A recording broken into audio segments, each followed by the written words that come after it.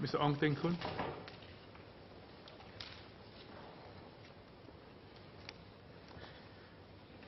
Sir, the move to impose GST on imported digital services is a step in the right direction.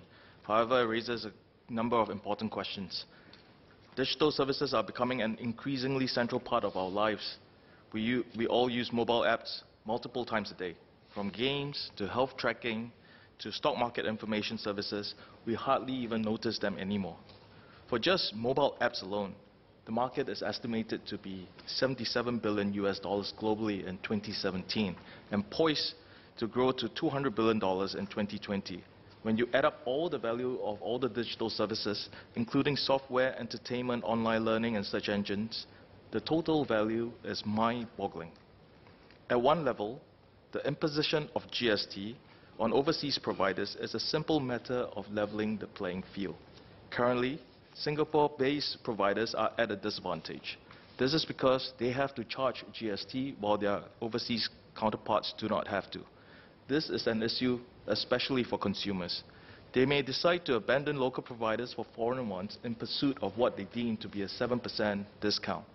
For businesses, most businesses can claim back GST. However, many small businesses may not be registered and hence behave essentially like consumers. So the idea, while bold, is fundamentally sound, but the relative novel nature raises a number of critical questions. First, how do we ensure even an effective implementation of this regime? The threshold for overseas vendor registration, OVR, is $1 million global revenues and $100,000 of Singapore revenues. The $1 million global revenue threshold is very low. The implication is that many small companies will be liable under our regime. In particular, I'm concerned about small marketplaces. Marketplaces exist to match buyers and sellers. Their actual revenues may only be a small fraction of the turnover on their site. Will the ministry review this threshold and adjust it if it is found to create problems? And if not, will there be a mechanism to review it periodically and adjust it when expedient? The next question has to do with efficiency of the new tax. How much revenue does the government expect to raise through this tax? We all know that spending on digital services is growing rapidly, but how much of that will fall under this regime? And how much taxes will be generated for our national coffers? More importantly, what is the cost of monitoring and enforcing compliance? The tax regime will be global. Does IRAS and other relevant authorities have the capabilities and the capacity? Digital service startups are proliferating, with thousands appearing every day. There could be potentially millions of small GST payers all around the globe. Can IRAS cope? How will we inform all the affected companies and marketplaces about their liabilities under our GST regime? How will we monitor that all relevant vendors are complying with this regime? And how will we enforce penalties for non-compliance given that they have no presence in Singapore? Is there a risk that service providers may thumb their noses at Singapore and they basically say to IRAS, catch me if you can? A global tax regime of this nature is likely to be complex. Will the revenue raised justify the expenditure on monitoring, collecting, and enforcing the tax? A related question is on providers abandoning Singapore. Would active enforcement result in some companies simply deciding not to serve Singapore-based consumers? Small and innovative overseas startups may not be willing to invest in the cost of compliance. They may simply decide not to serve a small market like Singapore. This could potentially deprive local companies and consumers of cutting-edge technology. Under the new rules, overseas vendors are required to obtain and maintain at least two pieces of non-conflicting ev- evidence of customers' location, payment proxy, residence proxy, and access proxy. It is easy to imagine seller companies saying, forget it, Singapore companies are just not worth all this trouble. The General Data Protection Regulation in the EU was seen as onerous. There were stories of businesses that simply turned away EU customers when GDPR was introduced. They felt that compliance was just too cumbersome, and that was for a market for 500 million people.